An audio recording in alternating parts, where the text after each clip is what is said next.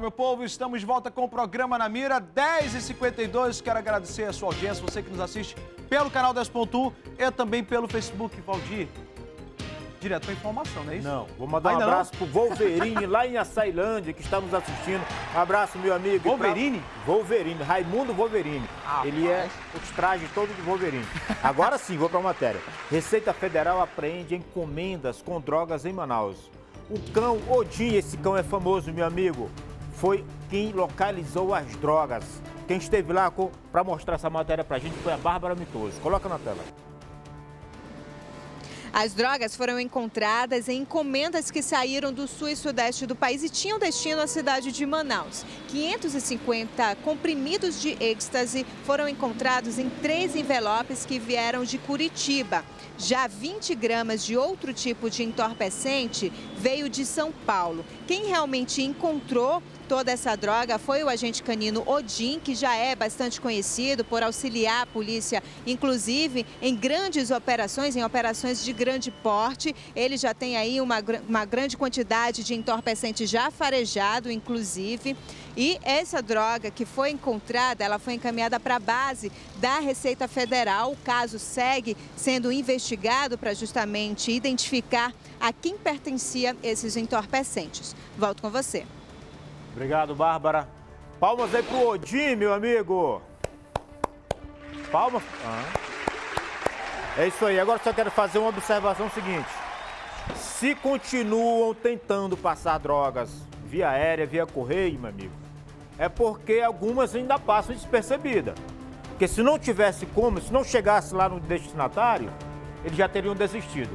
Mas vamos esperar que a Receita intensifique aí os seus trabalhos e continue por muitas operações dessa forma aí e com muitas apreensões. Luiz, meu amigo. Meu povo, 10h54 e olha só, meu povo, nessa última semana, a equipe do Namira foi visitar a delegacia especializada em crimes contra o idoso. E você vai conhecer como é feito o trabalho dessa especializada a partir de agora, aqui na tela do Namira. Pode soltar!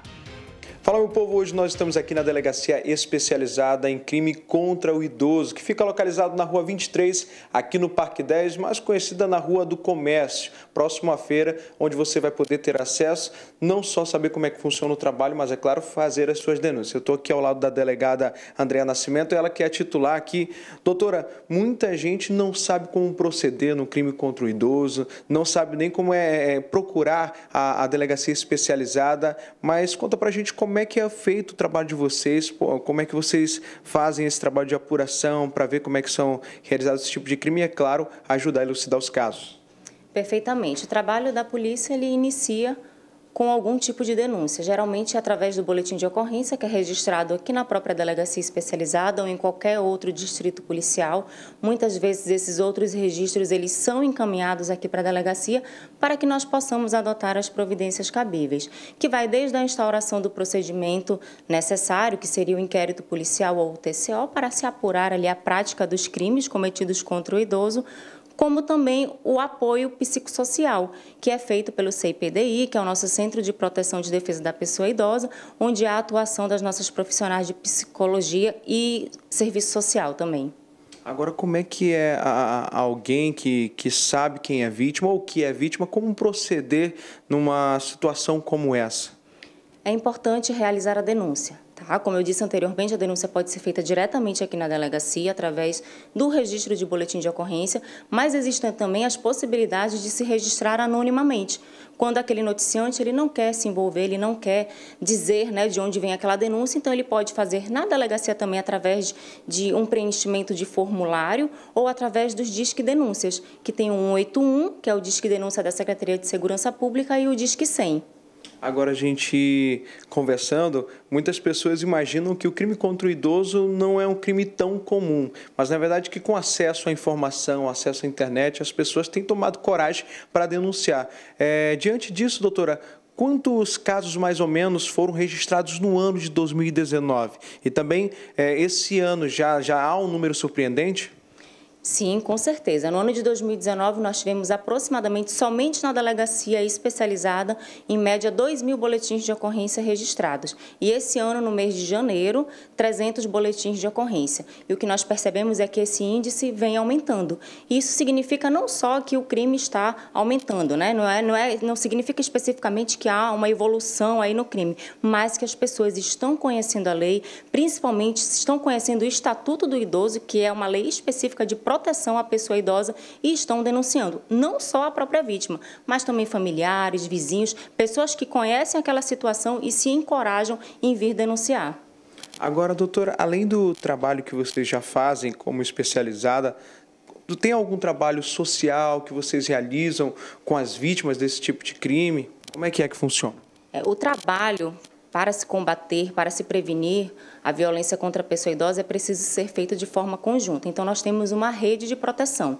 A delegacia instaura o procedimento criminal, o CIPDI, que é o Centro de Proteção, vai fazer esse amparo psicossocial ao idoso e os encaminhamentos necessários. Por exemplo, se esse idoso precisa ser encaminhado para a Defensoria Pública, a família como um todo, né, para fazer um acordo de assistência, para se estabelecer uma curatela quando se trata de idosos que não, não têm mais lucidez, não possuem mais a sua lucidez preservada. Então, há esses encaminhamentos também, assim como também encaminhamentos médicos, encaminhamentos para se retirar, para se tirar o RG do idoso e várias outras situações que ele esteja passando e que precise ser encaminhado. Agora, doutora, é, qual é o recado que a senhora deixa para algum idoso que esteja nos assistindo aí né, e esteja passando por esse tipo de abuso ou tipo de crimes como esse? Denunciar. A denúncia é sempre o caminho da libertação é, de qualquer tipo de crime. Hoje o idoso ele precisa ter conhecimento de que existe uma lei que o protege, que é o Estatuto do Idoso, e que existe todo um trabalho especializado, de delegacia especializada, de defensoria pública especializada, um atendimento psicossocial e uma rede de proteção para ampará-lo e ajudá-lo a sair desse, dessa situação de violência, dessa situação de conflito, muitas vezes conflitos familiares. Tá certo, então muito obrigado, doutora. E olha só, então os canais de denúncias para você estar tá entrando em contato com a especializada é pelo Disque 181, você será encaminhado para cá e fica aqui o recado da doutora, não deixe de denunciar, porque a partir daí você com certeza vai estar recebendo todo o amparo necessário para você não mais ser vítima desse tipo de crime e, é claro, ter ajuda para poder sair desse tipo de situação. Tá certo? Então, olha só, gente, uma matéria de prestação de serviço para você que está aí do outro lado, para você conhecer o trabalho da Delegacia do Idoso, que tem sido muito operante. E, é claro, a gente deseja sucesso para a doutora Andréia Nascimento, para toda a equipe lá de investigação. Meu povo, 11 horas.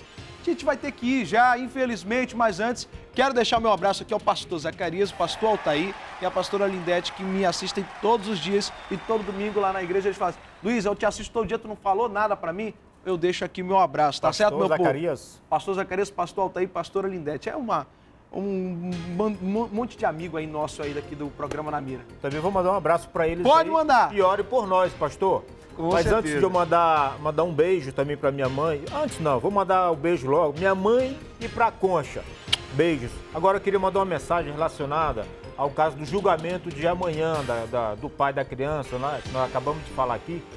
É, aos jurados, procure, já que se tiverem dúvida, procure orientação divina, meus amigos, para que não cometa nenhuma injustiça e que realmente prevaleça é, a justiça.